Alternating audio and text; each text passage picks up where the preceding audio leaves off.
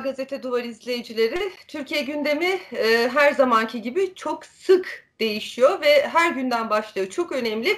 Geçtiğimiz hafta randevulaşmıştık ve çok önemli bir konu olduğu için de e, Ankara'nın bu sıcak gündem değişikliğine rağmen vazgeçmedik. E, Şeyma Özkan bizimle. Hoş geldiniz Sayın Özkan. Hoş bulduk. E, Şeyma Özkan'la bugün e, nefret söylemini, ayrımcı dili konuşacağız. E, kendisi Hrant Dink Vakfı'nın e, medyada nefret söyleminin izlenmesi projesinin sorumlularından. E, takip edenler biliyordur Hrant Dink Vakfı düzenli olarak medyada nefret söylemini takip edip bunları raporlaştırıyor. E, zaten vakfın kuruluş amacı da biliyorsunuz ayrımcılıkla ve nefret suçlarıyla, e, ırkçılıkla mücadele ve bu işi de gerçekten e, layıkıyla hakkını vere vere yapıyor. Kendilerine öncelikle çalışmalarından dolayı bir yurttaş olarak teşekkür etmek istiyorum. Biz teşekkür ederiz. E, Sayın Özkan e, nedir nefret söylemi? Önce onunla başlayalım. E, özellikle siyasetçiler çok sık ayrımcı, ötekileştirici dil kullanıyorlar ama nefret söyleminin tanımı nedir? Sizden dinleyelim. Nefes söylemi oldukça tartışmalı bir kavram aslında. Ee, yani bağlama göre bulunduğumuz yere göre e, tar- e, tanımı değişebiliyor. Bu yüzden üzerine uzlaşılmış evrensel bir tanımdan söz etmek oldukça güç.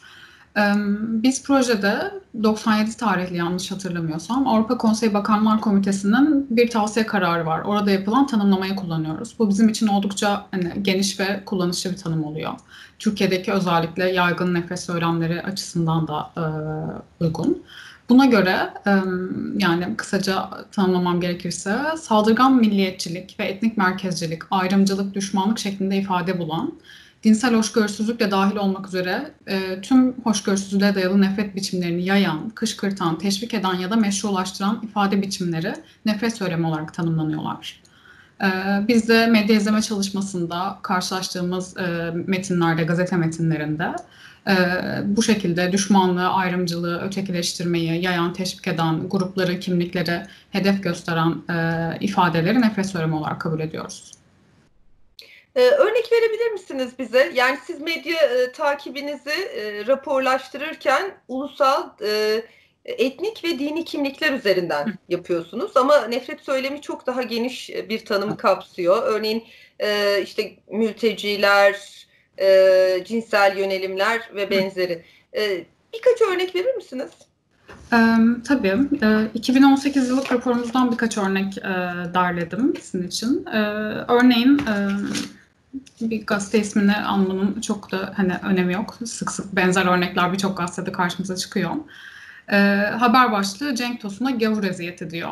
Cenk Tosun transfer edildiği Premier Lig takımında sahaya çıkarılmıyor. Bununla ilgili bir haber yapılıyor. Takımın teknik direktörünün bir açıklaması var ve gazete o açıklamayı biraz çarpıtarak ve daha sansasyonel bir başlık atabilmiş olmak için tahminimizce bunu Cenk Tosun'a gavur eziyeti olarak haberleştiriyor. E, gavur çok sıkça kullanılan bir ifade ve e, Türkçe'de gayrimüslimler için bir düşmanlık ve hakaret ifadesi olarak kullanıma gelmiş bir ifade. Ve e, yani gavur har kullanıldığında gavur ifadesi aslında gayrimüslimler, e, tüm gayrimüslimler hedef gösteriliyor ve hakaret uğruyorlar olarak kabul ediyoruz. Bu yüzden bir nefret söylemi bizim için. E, bu örnek örneğin gayrimüslimlere nefes ölme içeriği olduğu için e, nefes ölme olarak kabul ettik ve e, raporlamıştık. Ve ne kadar yaygın, ne kadar sıradan, ne kadar meşru kabul edilen pek çok tanımında nefret söylemi içinde olduğunu e, raporlarınızda sık sık görüyoruz. E, şimdi sizinle geçen hafta randevulaşma sebeplerimizden biri de Hrant Dink Vakfı'na yönelik tehditlerdi. Tehdit eden iki kişinin yakalandığını e, hemen İçişleri Bakanlığı açıkladı ama nefret söylemi e, ne yazık ki nefret suçuna da dönüşebiliyor. Bu nedenle endişeliydik ve vakıf çok kıymetli çalışmalar yapıyor. Girişte de belirttiğim gibi hem bu çalışmaları hem de vakfın ayrımcılıkla nefret suçlarıyla mücadeledeki e, katkılarını sizinle paylaşalım istedik. Sizin raporlarınız, bu medyadaki e, raporlar e, bu mücadeleye nasıl bir katkı sunuyor ayrımcılıkla mücadeleye? Ya bizim yürüttüğümüz medya izleme çalışması, çalışması aslında bir tespit ve teşhir e, çalışması. Biz e, nefes ölme olduğunu düşündüğümüz şeyler elbette her zaman tartışılabilir bu örnekler. Tespit ettikten sonra teşhir ediyoruz. Yani aslında yapmak istediğimiz şey bunu isimlendirmek. Neye nefret söylemi diyoruz, neyi ayrımcılık görüyoruz, neyi ırkçılık kabul ediyoruz. Çünkü Türkiye'de de bu alışılagelmiş bir tartışmadır hep. Türkiye'de, Türkiye'de ırkçılık yoktur denir örneğin ama vardır. İşte farklı şekillerde çokça ayrımcılık vardır. Ama hep e, yokmuş. Şeyma Hanım burada bir araya girmek istiyorum özür dileyerek. E, ırkçılık sadece siyahlara yani ten rengine göre yapılmaz. Irkçılığın evet. çok farklı türleri de var. E, tanımları da var. E, ve yani bunu bile bile Türkiye'de ırkçılık olmadığını söylemek de zaten tek başına e, yapılan suçun üstünü örtmek demek değil mi? Evet, sanıyorum öyle. Ee, biz de aslında yani projede e, bu izleme çalışmasıyla ve raporlarımızla yapmak istediğimiz şey aslında o tanımlama ve adlandırmaya e, katkı sunmak ve böylece aslında bir farkındalık oluşturmak. Çünkü e, tanımadan, adlandırmadan, onun ne olduğunu bilmeden e, bir yandan e, tartışmaya açamıyoruz, bir yandan e, anlayamıyoruz ve mücadele edemiyoruz. E, bu yüzden aslında temelde yaptığımız şey bu. Ama bununla birlikte biz özellikle işte yazılı basını ve medyadaki söylemi tespit e, ve takip ediyor olduğumuz için e, ve medyanın e, nefes söylemi, ayrımcılık ve işte e, kutuplaşma gibi e, ayrımcılık biçimlerinin yayılmasında, yaygınlaşmasındaki etkisini biliyor olduğumuz için aslında tüm bunları tartışmaya açmaya açmayı hedefliyoruz ki e, nefes söylemini ve ayrımcılığı mümkün kılan ve yaygınlaştıran tüm o yapısal ve politik etkenler neler? Bunları bilelim ve mücadele edelim istiyoruz. Daha somuta inecek olursam aslında proje sürekli üniversitelerle, akademisyenlerle, gazetecilerle, medya profesyonelleriyle, medya çalışanlarıyla dirsek teması halinde olup onlarla birlikte mesai yaparak aslında nefes söylemiyle topyekun bir mücadele faaliyeti yürütmeye çabalıyor. ve temelde yaptığımız şey bu anlamda farkındalık oluşturmak ve nefes söylemi yerine insan hakları odaklı bir alternatif söyleme mümkün olduğunu e, göstermek. E, şimdi bakıyoruz sizin raporlara gazeteler hep benzer gazeteler. E, LGBTİ'ler de konular, bu konuyla ilgili özellikle kendilerine hedef alan nefret söylemine ilişkin medyada hormonlu domates e, ödülü veriyorlar biliyorsunuz. Daha doğrusu sadece medyaya yönelik değil bir hormonlu domates e, ödülü var onların da. E, orada da genelde hep aynı isimlere rastlıyoruz. Sizin listede de bakıyorum e, ilk 10 e, e, pek de değişmiyor. E, Hrant Dink'in e, öldürüldüğü, e, suikaste uğradığı o dönemde yine aynı gazeteler Dink'i de nefret söylemiyle hedef gösteriyordu. İşte e, o Ermeni konuştu, hain Ermeni gibi başlıklarla Hrant Dink'i hedef haline getirmişlerdi. E, peki bu çalışmalar, bu raporlar e, medyanın hiç çuvaldızı kendisine batırmasına sebep olamıyor mu? Yani hiç kapınızı çalıp da bize bir bu işi öğretin, biz dilimizi nasıl temizleyeceğiz diyen oldu mu? aslında birçok e, gazeteciyle yani bireysel anlamda doğrudan gazetecilerle çokça temas halindeyiz ve onlarla çok tartışıyoruz bu durumu. E, işte atölyelerimize katılıyorlar ya da bu tartışmaya her zaman dahil oluyorlar.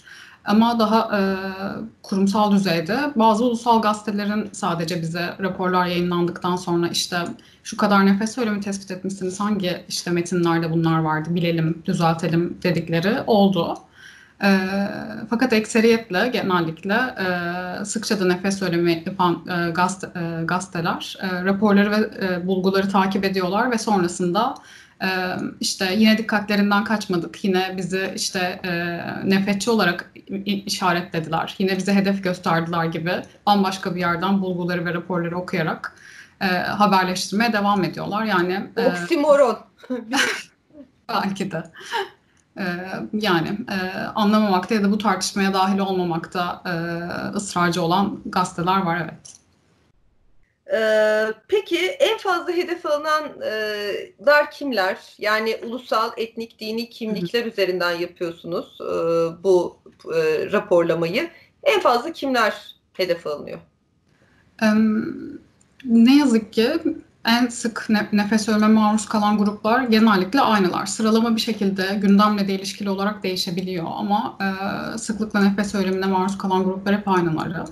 Bunlar da e, genellikle Ermeniler, Yahudiler, Rumlar, Yunanlar, gayrimüslimler, Hristiyanlar ve Batılılar. Son 5-6 yıldır ise bu listede Suriyeliler var. Ee, ya bu grupların çoğunda belki Suriyeliler biraz daha ayrışıyor özel yani onların e, nefes önüne maruz kalmasındaki özel nedenler e, dışın e, nedenlerden ötürü ama e, bu grupların çoğunda e, tarihsel bazı referanslarla birlikte aslında e, kemikleşmiş bir düşmanlık algısı olduğunu görüyoruz. Bunlar medyanın e, mütemadiyen ötekileri, gündem ne olursa olsun bu gruplara yönelik nefes ölümü üretilebiliyor. Çeşitli olumsuz luklar e, bu gruplarla ilişkilendirilebiliyor. Bu gruplara yönelik mevcut olan zaten bir takım kültürel kalıp yargılar var. E, örneğin işte Yahudilerin birçok komple teorisiyle ilişkilendiriliyor olması gibi, Ermenilerin, Rumların ya da Yunanların hain, ezeli düşman görülüyor olması gibi. E, tüm bu nedenlerden ötürü aslında bu gruplara yönelik nefes söylemi dinmiyor. Ee, Suriyeliler özelinde ise e, hepimiz yakından takip ettik zaten. Türkiye'deki varlıkları e, kalıcı, varlıkların kalıcı olması ve zaten gel e, Türkiye'de bulunmalarındaki o statü belirsizliği gibi birçok et, etmen e, bir arada yaşamı zaten güçleştirmişti ama bir yandan nefes söylemi grupların kalıp yargılarda üretilmesiyle birlikte grup, bu grubun Suriyelilerin e, bir günah keçisi atfedilmesiyle birlikte onların yönelik nefes söylemi de arttı. Ee, Hrant Dink Vakfı giderek de zenginleşiyor. 2016 yılında vakıf bünyesinde Asulis e, Dil, Diyalog ve Demokrasi Laboratuvarı kuruldu. Türkiye'de söylem üzerine çalışan ilk e, araştırma merkezi galiba değil mi Asulis? Evet doğru. Biraz Asulis'ten bahseder misiniz? Tabii. Neler yapıyor Asulis? Tabii. Ee, Medyada Nefes Söylemin İzlenmesi Projesi 2009 yılından beri yürütülüyor. Ee, kesintisiz bir medya izleme çalışmasıydı. O günden bu yana aslında yürütülen en uzun soluklu nefes, e, en uzun soluklu söylem çalışmalarından biri Türkiye'deki. Ee, ve hayli bilgi birikimi e, elde etmişti. Bu bilgi birikiminden de hareketle yalnızca medya ve nefes söyleme alanında değil, daha genel anlamda söylem alanında çalışmalar yürütebilmek ve söylemi tartışmaya açabilmek için e, Asulis Dil Diyalog ve De Demokrasi Laboratuvarı kuruldu.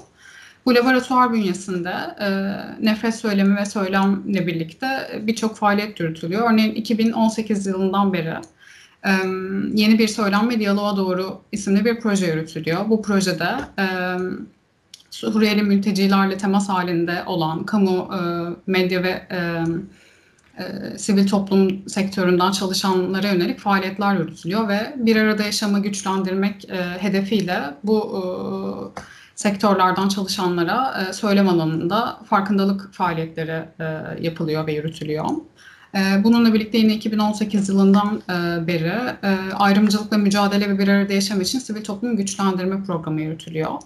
Bu proje ayrımcılıkla mücadele ve bir arada yaşamı güçlendirmek e, hedefiyle projeler yürüten sivil toplum kuruluşlarını ve çalışanlarını güçlendirmek için faaliyetleri var. Örneğin bir hibe programı var. E, Türkiye'nin çeşitli illerinden farklı alanlarda çalışan birçok sivil toplum kuruluşunun yürüttüğü e, projeler destekleniyor. E, bu projelere hibe veriliyor. Bununla birlikte STK hareketlilik programı yürütülüyor. Bunda da e, sivil toplum çalışanları e, tüm dünyadan e, farklı alanlarda çalışan sivil toplum kuruluşlarıyla bir araya gelerek tecrübe ve e, bilgi paylaşımında bulunacaklar. Öyle. E, ayrımcılıkla mücadele ve bir arada yaşam için aslında Asulis e, diyalog e, kurmak adına e, insan hakları odaklı alternatif bir bakış, bakış açısının yaygınlaşması adına çeşitli faaliyetler yürütüyor. Ee, Asulis'in kelime anlamı da önemli. Onu da paylaşırsanız izleyicilerimizle. Ee, Asulis Ermenice'de e, sohbet demek, asal söylemek, lisel dinlemek. İkisinin bir araya gelişi söyleyip dinleyen ve sohbet e, söyleşi anlamına geliyor. E, diyalog temelli bir laboratuvar için oldukça e, uygun ve manidar bir isim. Evet. Evet. Ee, peki siyasetçilerin de e, nefret söylemini sürekli e, kullandıkları özellikle son yıllarda herkesin malumu. E, onların medyadaki bu nefret söylemi yani siyasetçilerin bu dili kullanması ötekileştirici dili medyanın kullanımına nasıl yansıyor? Medya daha pervasızlaşıyor galiba değil mi?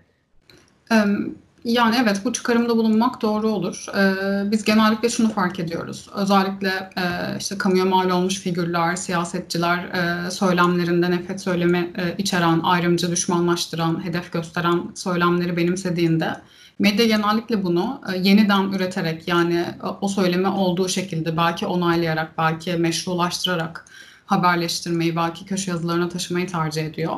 Dolayısıyla evet e, medyanın haberleştirdiği şey nefret söylemi içeriyorsa onun nefreti yayarak e, e, iletilmesi insanlara oldukça e, mümkün oluyor ve genellikle karşılaştığımız durumda bu oluyor. Medyadaki nefret söylemini genellikle arttırıyor diyebiliriz. Siz hem ulusal gazeteleri tarıyorsunuz Hı-hı. hem de yerel medyayı tarıyorsunuz. Evet. Köşe yazıları ve haberlerden bir derleme yapıyorsunuz. Hı-hı. Bunları raporlaştırıyorsunuz. Ve de diyorsunuz ki alternatif bir söylem mümkün. Ee, ötekileştirmeyen, ayrımcı e, bir dil kullanmadan da bir söylem kurulabilir. Peki sizi e, en çok ne şaşırttı bütün bu çalışmalarınız, raporlarınız sürecinde? Yani bu e, yanlışın e, sürekli sürekli sürekli tekrarlanması mı? E, yoksa hep aynı kitlelerin e, düşmanlaştırılması mı? Sizi şaşırtan ne oldu insani boyutuyla?